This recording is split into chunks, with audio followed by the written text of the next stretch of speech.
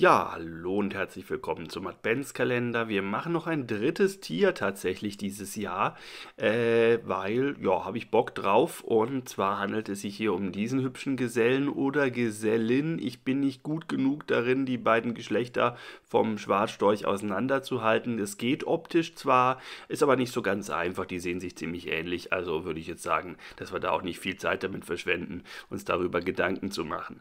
Äh, jedenfalls handelt es sich hierbei um einen richtig echten Waldvogel, der in alten Laubwäldern gerne mit Eichenanteil unterwegs ist und gerne eben auch in Laubwäldern, die auch gewisse Feuchtgebiete aufweisen, wie zum Beispiel stehende und fließende Gewässer, äh, klein bis mittelgroß und äh, gerne darf da eben also auch mal ein Tümpelchen für den Froschimbiss oder ein paar leckere Kaulquappen oder vielleicht ein Molch oder ähnliche leckere Dinge durchaus vorhanden vorhanden sein. Hin und wieder mag er auch ganz gerne mal Insekten äh, oder dessen, deren Larven, sowas in die Richtung. Und er frisst auch ein klein wenig anteilig Wasserpflanzen, vermutlich um irgendwelche Mangelernährungsprobleme bei nur äh, fleischlicher bzw. tierischer Nahrung ähm, entgegenzuwirken. So zumindest die Theorie. Ob das stimmt, wissen wir nicht genau.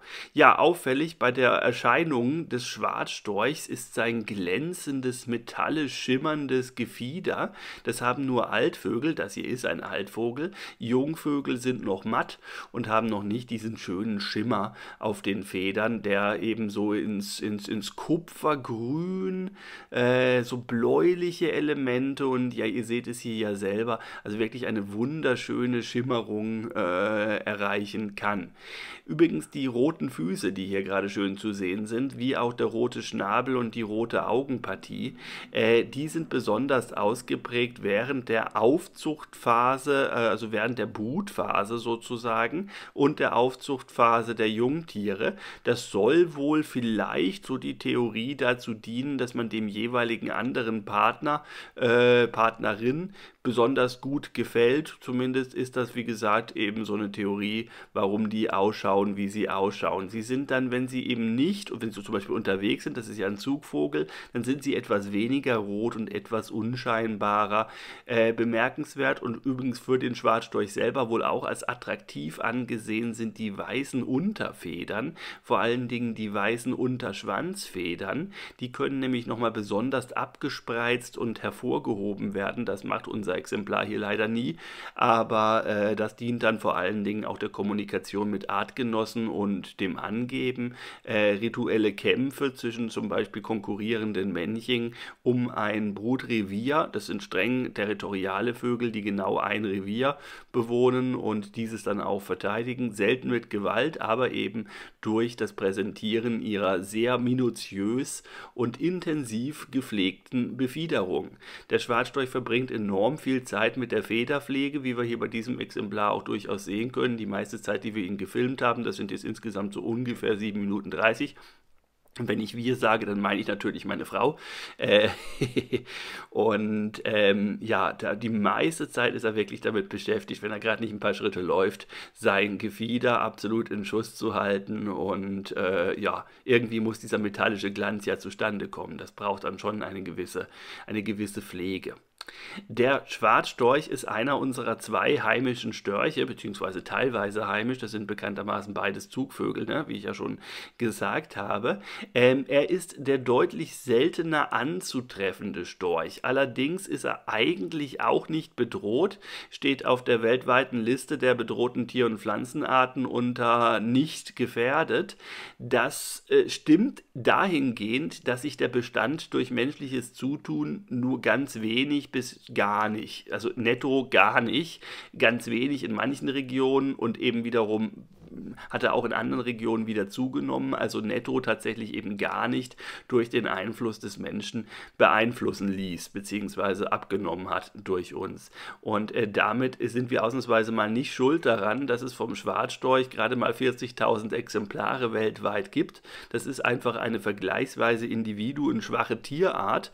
Das macht ihn dann schon irgendwo gefährdet, weil einfach auch der genetische Austausch da bei so einer vergleichsweise kleinen, für die globale Population, ne, bei so einer vergleichsweise kleinen Individuenzahl schwierig sein kann. Ja, das heißt, die Storche müssen sich schon Mühe geben, dass sie sich nicht so sehr unter verwandten Tieren verpaaren, um da eben die genetische Vielfalt der Schwarzstorchpopulation aufrechtzuerhalten. Das würde man den Störchen zumindest raten, dass sie das vielleicht tun. Ne? Äh, Storchvögel generell kann man wunderbar daran erkennen, dass sie zu den Schreitvögeln gehören. Überraschung. Äh, sie stehen auch gerne mal auf einem Bein rum, haben den charakteristischen langen Schnabel und im Flug strecken sie sowohl den Hals nach vorne komplett komplett durch, als auch die Beine nach hinten. Ja, dazu hätte ich hier an dieser Stelle schon mal ein Bildchen zum Einblenden.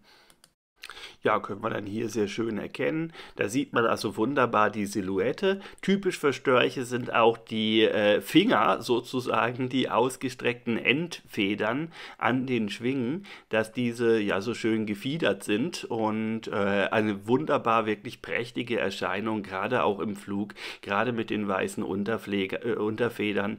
Er ist auf den ersten Blick, gerade bei der Nahaufnahme, vielleicht etwas gewöhnungsbedürftig aufgrund eben des etwas roten Gesichtes und ja, den, den, den Schuppen im Gesicht, wenn man das dann so nennen möchte. Aber ja, er soll ja auch nicht für uns attraktiv aussehen, sondern bitteschön für das jeweilige andere Geschlecht von Schwarzstörchen. Ich finde, das ist ein hochgradig attraktiver Vogel, gerade auch mit diesem wunderschön schimmernden Gefieder, was er dann halt auch im äh, stehenden Zustand aufweist. Übrigens, und bevor ich es vergesse, die äh, Störchaufnahmen, die hier von uns selber bzw. von meiner Frau sind, die sind natürlich aus dem Tierpark. Äh, wir sind beides keine Tierfilme Filme und haben auch nicht den Anspruch, äh, Tiere in der freien Wildbahn, also wo es geht, natürlich gerne, aber äh, denen ewig lange aufzulungern, um dann seltene Aufnahmen von einem Schwarzstorch aus der freien Wildbahn hinzubekommen, das äh, ist sicher nicht unser Anspruch. Ne? Also man sieht ja auch gleich, der hat einen, äh, äh, einen, einen, einen, äh, einen Ring am Fuß. So, das wollte ich sagen. Ja. Der Schwarzstorch ist übrigens der zweitgrößte Storch, den wir haben. Wir haben ja auch nur zwei und da drüben steht der Kollege, nämlich der Weißstorch, den haben wir sicher alle schon mal gesehen, äh, spätestens als er uns gebracht hat, weil bekanntlich werden wir ja alle vom Storch gebracht. Dass die gerne mal auf einem Bein rumstehen, kommt auch beim Weißstorch wie beim Schwarzstorch vor und ist generell einfach ein Charakteristikum der Störche. Das haben viele Schreitvögel, da sind die Störche auch nicht alleine mit. Und ja, der Weißstorch ist etwa 20% 15 bis maximal maximal 20% schwerer als der Schwarzstorch und der hat etwa 10% größere Gesamtabmessung, vielleicht noch einen Hauch mehr Spannweite, als das beim Schwarzstorch der Fall ist. Dafür ist der Schwarzstorch mit seiner etwas kleineren Spannweite und seiner äh, waldlebenden ja, Lebensweise etwas ein geschickterer Flieger. Er ist etwas mobiler, etwas agiler, nicht unbedingt so ein wahnsinnig toller Langstreckenzieher, also das ist er auch, aber vielleicht hat er da ein ganz paar Abstriche im Vergleich zum Schwarzstorch, die er da äh, sich zugestehen muss. Aber er hat zum Beispiel gelernt, mit halb eingeklappten Flügeln zu äh, fliegen. Ne? Also äh, stellt euch vor, wenn ihr Flügel hättet, also sprich streckt mal die Arme aus und jetzt versucht die Ellbogen nach oben einzuklappen, sodass die nach oben ragen, dann habt ihr zwei Halbflügel und seht quasi aus wie ein verunglücktes M. Ja? Wenn man auch den Kopf äh, wegretuschiert. Wollte gerade abschneiden sagen, aber das wäre schlecht. Äh, also nur den Kopf wegretuschieren bitte. Und äh, ja, dann werdet ihr ungefähr so aussehen wie ein, ein, ein Schwarzstorch im Wald äh, Ausweich zwischen den Bäumen Durchpassflug. Und das Ganze sieht dann möglicherweise folgendermaßen aus. Ja, da er im Wald gut fliegen kann, hat er sich auch darauf spezialisiert, sich im Wald gut zu verstecken. Äh, vielleicht ist das auch mit ein Grund für die eher unauffällige Gefiederfarbe. Den musst du im tiefen Wald erstmal entdecken. Trotz roter Beine und rotem Schnabel äh, muss man schon genau hingucken, um einen Schwarzstorch zu entdecken. Möglicherweise könnte auch die Reflexion seines Gefieders, also dieses metallische Schimmern, auch eher einen Camouflagezweck haben. Äh, also mal abgesehen davon, dass man damit weibliche Störche beeindrucken kann. Aber äh, er lebt halt wirklich massiv im Wald, in allem, was er so tut. Während er sich in der Brutzeit bei uns befindet, ist das ein reiner Waldvogel. Hin und wieder natürlich auch mal an dem kleinen Gewässer außerhalb des Waldes anzutreffen, aber viel lieber sind ihm eben Gewässer im Wald, wo er dann schnell auch wieder zwischen den Bäumen oder in den Baumkronen verschwinden kann. Äh, und genau da habe ich auch meinen einzigen Schwarzstorch, den ich bisher jemals in der freien Wildbahn antreffen konnte, äh, entdeckt, nämlich an einem Tümpel im Wald. Da saß er und hat sich vermutlich Fische gefangen. Und als ich dann ankam, äh, in Begleitung von noch einer zweiten Person, äh, ist er ja, fast lautlos mit einem kleinen Protestskräzen äh, davon geflogen. Apropos Kräzen, sein Kollege hier, der Weiße, ne, der kann das gar nicht. Äh, der Weißstorch ist wirklich darauf angewiesen zu klappern. Man kennt ja dieses Klappern vom Weißstorch sicherlich. Während der Schwarzstorch neben Klappern, das kann er auch, das dient einmal der Aggression, um Feinde zu vertreiben und zweitens der Erregung, also sexuell, ne, kurz vorm Koitus. Äh, also wenn ihr sowas hört, dann ist es wahrscheinlich ersterer Grund. Vermutlich. Ja. Und, äh, aber ansonsten hat er noch ein breites Repertoire verschiedener Lautäußerungen, mit denen er eben vor allen Dingen auch innerartlich und zusammen mit seiner Partnerin, seinem Partner äh, kommunizieren kann. Also ein durchaus vielfältiger Vogel mit verschiedenen Tönchen. So, aber jetzt gehen wir mal chronologisch vor und das Leben eines Schwarz Schwarzstorches beginnt natürlich im Horst seiner Eltern. Das da ist ein Schwarzstorch, Schwarzstorchhorst Schwieriges Wort. Das ist fast schon ein Zungenbrecher. Brecher. Äh, so, äh, die Dinger können sehr groß werden und auch sehr schwer werden. Es kommt also durchaus mal vor, dass auch der Ast, an dem ein äh, Horst montiert wurde, dann mal runterkracht. Er wird jedes Jahr von den sehr territorialen Schwarzstörchen gerne mal noch ein bisschen erweitert, gehegt, gepflegt, ausgebaut und ja, die können mitunter dann auch wirklich so richtig, richtig schwer werden. Ähm, zur Paarbildung beim Schwarzstorch muss man sagen, dass schon äh, Brun ja, eine Balz, Brunft ist was anderes, falsche Tierart, ne, äh, durchaus stattfindet, dadurch, dass die Tiere aber sehr territorial sind und ihr Leben lang an mehr oder weniger den exakten Ort zur jungen Aufzucht zurückkehren und zu ihrem Horst zurückkehren, den sie dann länger gepflegt haben, kommt es durchaus öfters mal vor, dass äh, sich die Paare einfach wieder so zusammenfinden, wie das letztes Jahr auch gewesen ist. Der Schwarzstorch ist nicht zwingend streng monogam, gar nicht. Es kommt auch während der jungen Aufzucht durchaus mal vor, dass da, äh, beziehungsweise während der Paarungsphase, kommt es auch mal vor, dass sich da noch irgendjemand anders an der Paarung beteiligt. Aber äh, im Großen und Ganzen würde man sagen, ungefähr so monogam wie Homo sapiens dürften sie dann doch etwa sein. Einige von uns sind es mehr, andere von uns sind es weniger. Das verhält sich beim Schwarzstorch ganz ähnlich. Na? Und ja, äh, es ist übrigens durchaus so, dass das Männchen Vorarbeit, was den Horst angeht, leistet und das Weiblein dann später nachkommt. Die Männchen fliegen etwas weniger früh, äh, also etwas früher zurück aus Afrika. Die überwintern unter anderem in Afrika äh, und sind dann halt schon da und überbrücken einfach die Zeit, bis die Weiblein antreffen, damit dass sie bereits anfangen, ein bisschen Horst anzulegen. Die Arbeit, die das Männchen da investiert, die macht sich auch bezahlt, beziehungsweise ist eigentlich nur fair im Sinne von einer gewissen Gleichverteilung, weil das Brutgeschäft von den Eiern, das sind unscheinbare weiße Eier, da blende ich jetzt keins ein, ist nicht weiter interessant. Zwei bis drei, äh, meistens zwei, selten mal drei. Hier gibt es drei Jungküken, das ist also eher bemerkenswert großer äh, Ausbeute sozusagen. Und ähm, diese Eier werden größtenteils vom Weibchen bebrütet. Das Männchen macht das auch hin und wieder mal, aber tendenziell deutlich weniger, vielleicht zu 20 Prozent der Zeit, damit das Weibchen sich mal was zu fressen holen kann. Je nachdem, wie gut sich das Storchpaar versteht, wird das Weiblein auch hin und wieder mal vom Männlein gefüttert. Ähm, das weiß man aber auch noch nicht, unter welchen Bedingungen das stattfindet. Und unter, ja, also beim Schwarzstorch besteht noch jede Menge interessanter Bedarf, die Sozial, äh, das Sozialgefüge, gerade auch der Partner und untereinander äh, mal noch genauer anzugucken. Das ist also ein wirklich hochgradig spannender Vogel, sehr komplex, äh, gerade auch wegen seiner weiten Zugrouten, äh, sehr interessant, was er eigentlich dazwischendurch so treibt und von meiner, also aus meiner Warte aus gehört er dringend mehr untersucht. Jedenfalls übernimmt das Männchen, nachdem die Jungen dann geschlupft sind, fast ausschließlich in den ersten, ja, sagen wir mal mindestens zehn Tagen, ähm, die Zeit des auf die Jungvögel aufpassen, nämlich durch Beschatten, sprich über über den Jungvögeln stehen und die Flügel ausbreiten, damit denen nicht zu heiß wird, dass sie einfach Schatten haben.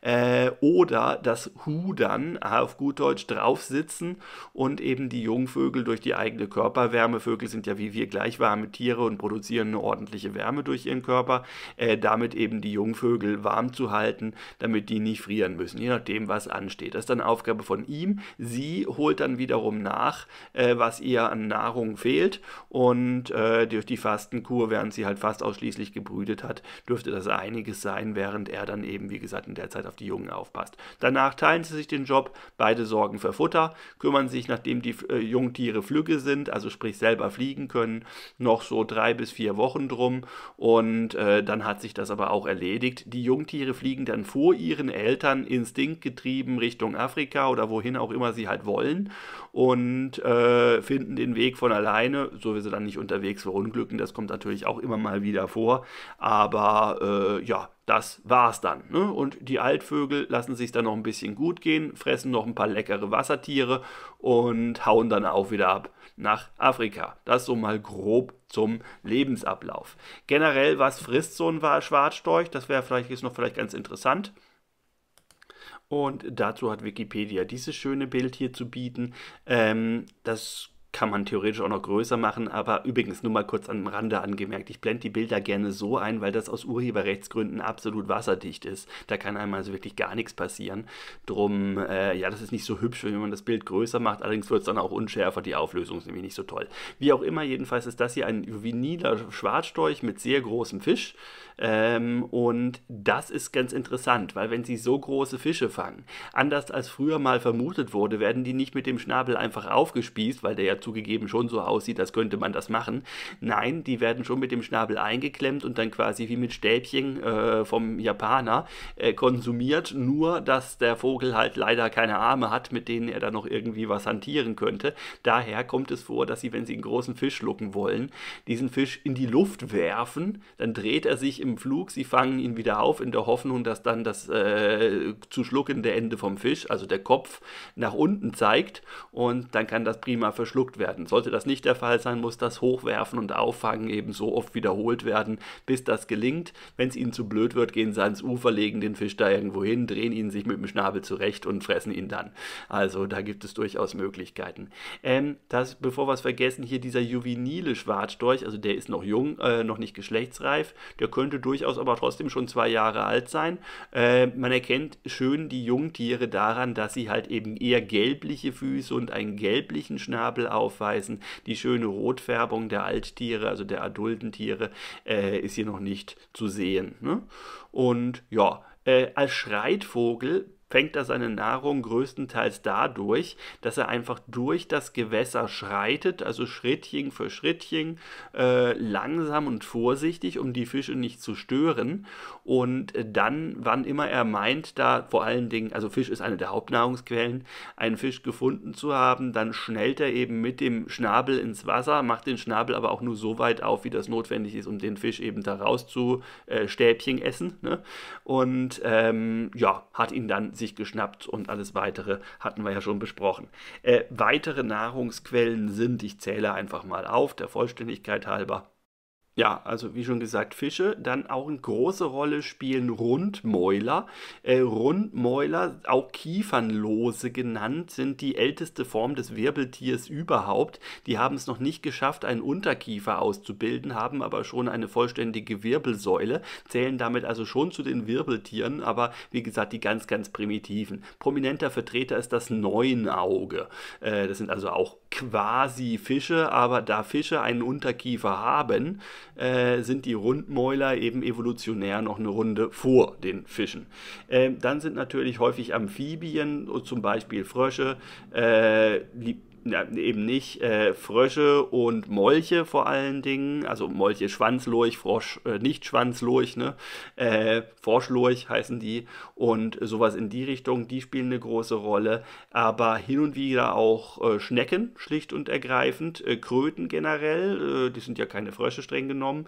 Und ja, in Deutschland im konkreten Fall sind es Elritzen, Bachschmerlen, Bachneunaugen, Flussneunaugen und ja eben bei den Amphibien alles Mögliche. Auch die Ringelnatter wird ganz gerne mal gegessen. Äh, Blindschleiche soll wohl auch schon gefuttert worden sein. Nicht der Feuersalamander, der sieht bekanntermaßen nicht so aus, als könnte man ihn essen und das ist auch gut für ihn. Außerdem Schwimmkäfer, Wasserkäfer, Larvenstadien von den Selbrigen und äh, Köcherfliegen wie Libellen generell. Nur selten werden Säugetiere wie Mäuse, Ratten, Wühlmäuse, Spitzmäuse etc. pp. Äh, verzehrt. Das liegt einfach daran, dass er sich darauf nicht spezialisiert hat. Anders als inzwischen der Schwarz, äh, Quatsch, der Weihstorch. Ja? Der Weihstorch galt ja früher mal als ausgesprochener Froschspezialist, dass der sich ganz viele Frosche besorgt hat. Dass es Frösche dann nicht mehr gab, weil wir keine Wiesen mit Fröschen mehr hatten, weil durch den äh, Strukturwandel unserer Landschaft und so weiter. Das war wahrscheinlich mit der Hauptgrund, gehen jedenfalls viele von aus, weshalb der Weihstorch so furchtbar selten geworden ist und äh, in den 80er Jahren quasi nur in Weihstorch-Volieren gesehen werden konnte. Freilebende Weihstörche hat es da nicht gegeben. Inzwischen sieht man die wieder relativ häufig, äh, bis hin zu sogar richtig, richtig oft. Ähm, und das lag vor allen Dingen daran, dass der Weihstorch erstmal umschulen musste in Deutschland, eben nicht mehr auf Frösche zu gehen, sondern jetzt auch auf Mäuse und andere Kleinstsäugetiere, was er getan hat, was für ihn funktioniert hat und deswegen hat er auch wieder zugenommen. Für den Schwarzstorch war das nie notwendig. Die paar Tümpelchen, die er für seine geringe Individuenzahl, wie gesagt, das ist ein seltener Vogel, immer schon gewesen, ähm, braucht, die hat er meistens gefunden.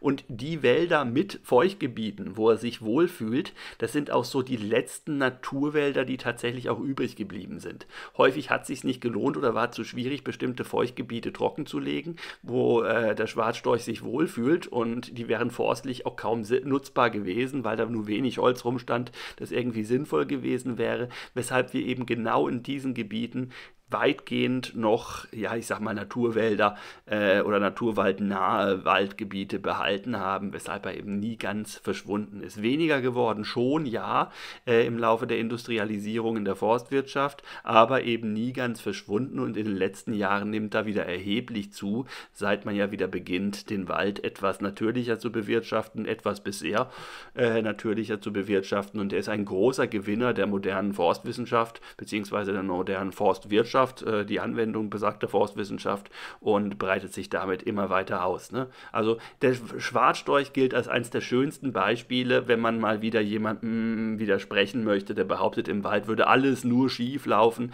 Äh, das stimmt so nicht. Da gibt es einiges, was schief läuft, sicher. Äh, vieles davon ist teilweise ein historisches Vergehen der Forstwirtschaft. Ähm, Manches davon kann sie aber auch nichts dafür und an anderen positiven Entwicklungen ist sie sehr wohl eben auch schuld, in Anführungszeichen, wie eben der Zunahme der Waldvögel.